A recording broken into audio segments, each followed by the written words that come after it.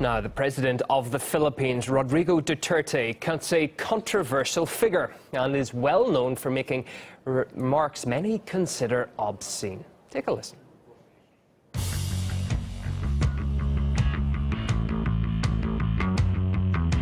You must be respected. Mr. Obama, you can go to hell. Mayor Duterte would ask only five questions to prove that you're stupid. Ang basado rin yung bak... Visit ako dyan. I do not have any master. If you can say one bad thing about me, I can give you... Well, the president of the Philippines, Rodrigo Duterte, has given an exclusive interview to RT's Marina Kostreva. Marina joins me now live in the studio after hot-footing it back from the Philippines. Uh, Marina, I suppose, other than perhaps Donald Trump, Barack Obama over the last few months, one of the people who's been on our television screens all around the world more than any more, any others, is Rodrigo Duterte. You spoke to him directly. How did you find him?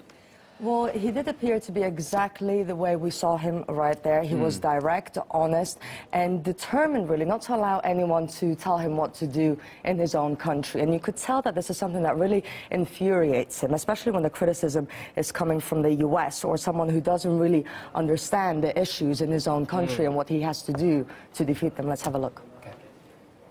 Every time the United States criticizes us or reprimands us, did always connect it with a connective sentence that uh, if you do not do this, if, if you do not do that, or if you do this and we do not like it, we will cut the assistance. That every time, several past presidents, do you know that America is not a signatory of the International Criminal Court? And here is a guy threatening me with uh, prosecution. Excuse me. you, you must be crazy, you know. Well, Mr. Duterte has definitely appeared to soften his criticism of the U.S. since the presidential election. And he did say that he finds Donald Trump to be a man that he could potentially work with and even build a friendship. But for now, he is shifting his focus more towards Russia and China. I had a talk in that meeting in Laos uh, for the ASEAN.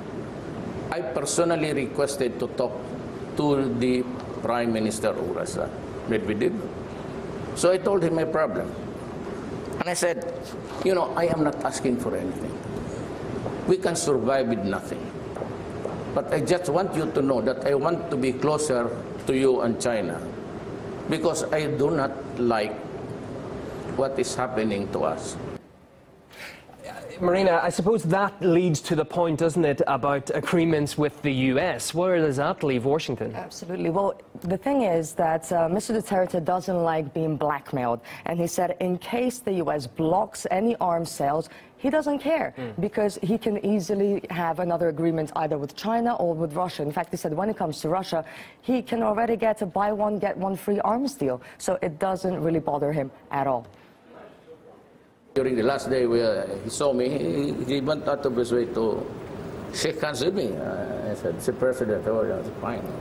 And then he smiled and shook my hands. He said, I will wait for you in Korea, uh, in Russia.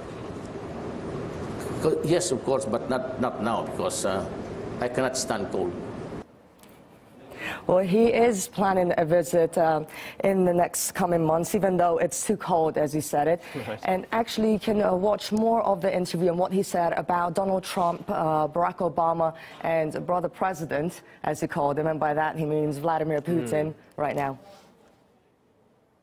You've become world famous for quite a number of sharp statements, and some people have even gone as far as to say that they're politically incorrect. Why did you choose this style of uh, this style of conducting politics? Well, I, I never. Uh, there was not an ambition. I never desired to be a, an international figure.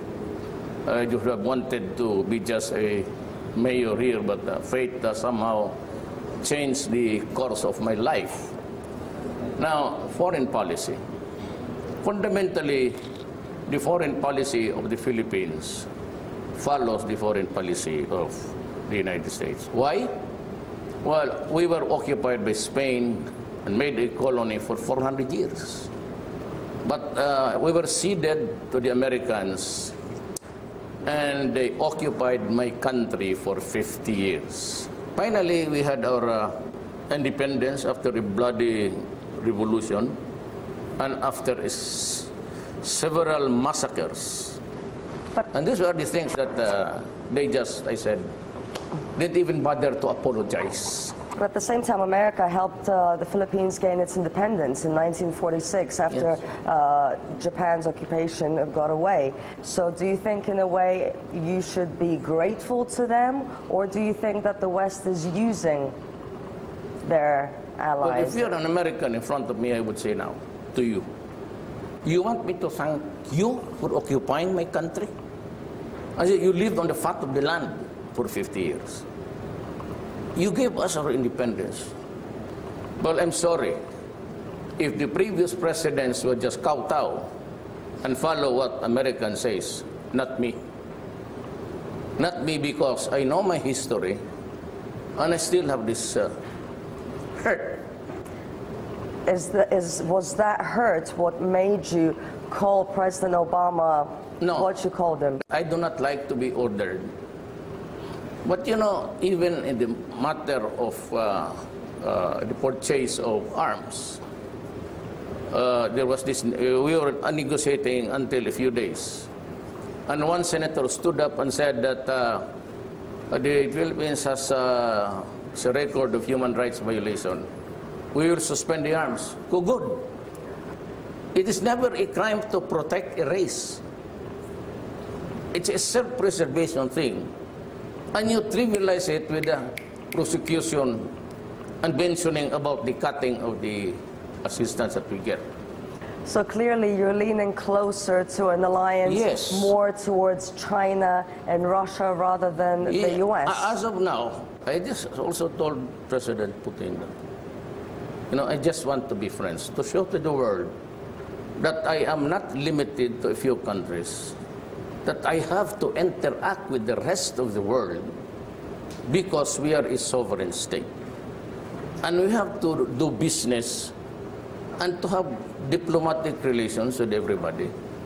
And if there is good to it, then I thank God.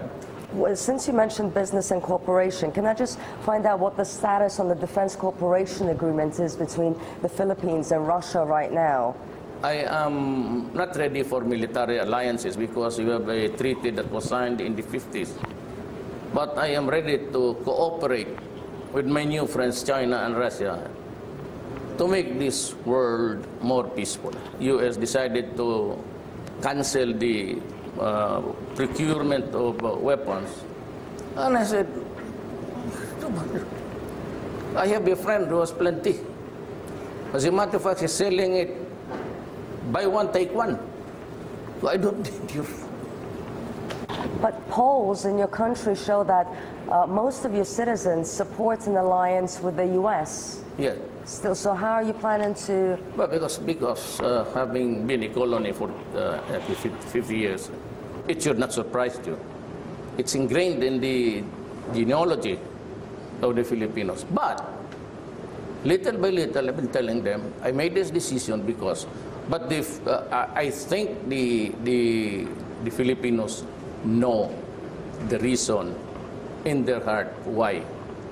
Because I have been very vocal and used the strongest terms when I said we are not uh, a nation uh, of beggars. You appear to soften your criticism when it comes to the U.S. after the U.S. presidential elections, after it became clear that Donald Trump would be the next president. Do you think that you could be friends with Donald Trump and maybe your relationship would change? Well, there is, uh, I'm not at liberty to make it public. But there are feelers uh, now. Uh, even uh, uh, retired generals and uh, they wrote me a long letter, and the last sentence uh, is that there is no doubt in our minds that we, ca uh, we can be great friends again and reset the whole thing. That was my slogan, sloganeering when I was campaigning changed